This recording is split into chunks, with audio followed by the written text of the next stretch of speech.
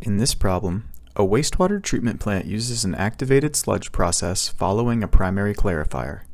The plant receives an average daily flow of 3 mgd with an influent BOD5 concentration of 250 mg per liter and an influent suspended solids concentration of 300 mg per liter.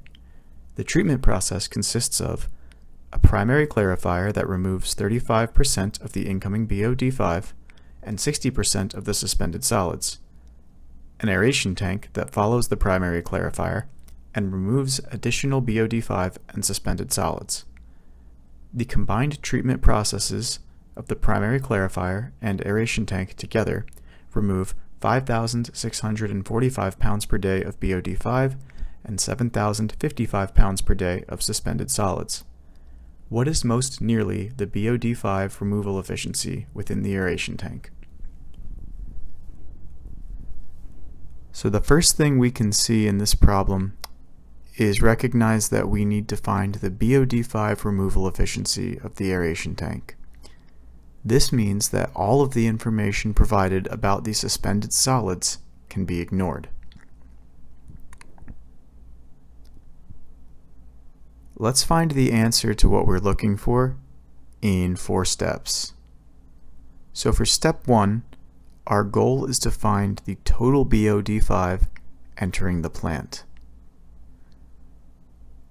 To solve for this, we simply need to multiply the average daily flow of 3 mgd times a conversion factor of 8.34 pounds per million gallon over milligrams per liter, and then multiply this times the influent BOD5 concentration of 250 milligrams per liter.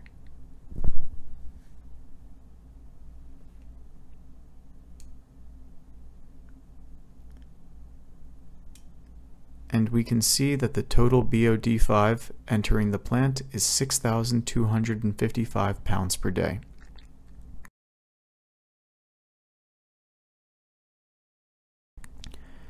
For step 2, we need to find the BOD5 removed in only the primary clarifier. So let's draw out this process really quickly. We can see that after the flow enters the plant, it is first passing through the primary clarifier and next going into the aeration tank. After that, we are assuming that there is still some amount of BOD5 left after each treatment process. And as noted in the problem statement, the combined BOD5 removed from both the primary clarifier and the aeration tank is 5,645 pounds per day. Now, the problem provides us with the removal efficiency of the primary clarifier.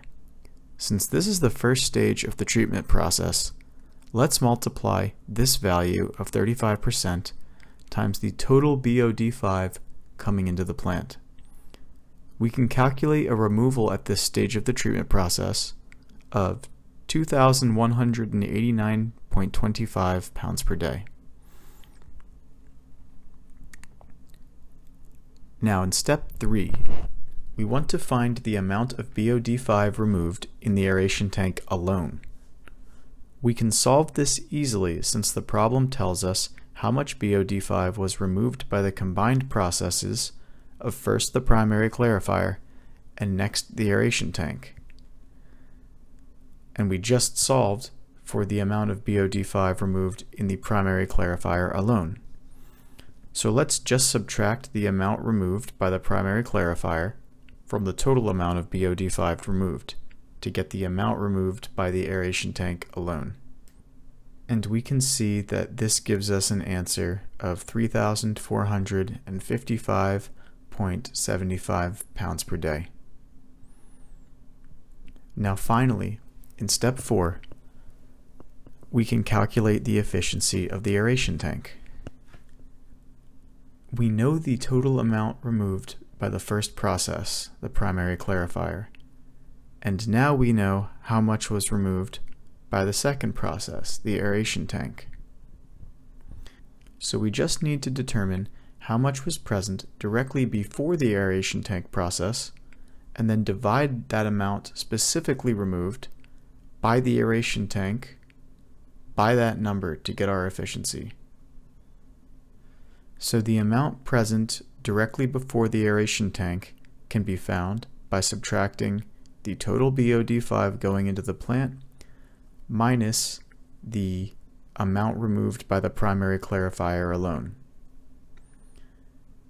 Then leaving a variable of x for the efficiency of the aeration tank, we can see that what comes out on the other side is going to be the amount removed in the aeration tank alone, which we just calculated for in step 3.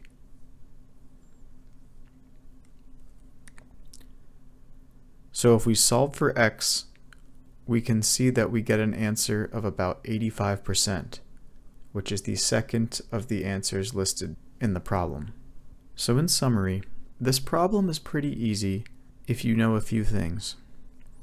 First, you have to notice that you are supposed to ignore the information about the suspended solids and focus on BOD5.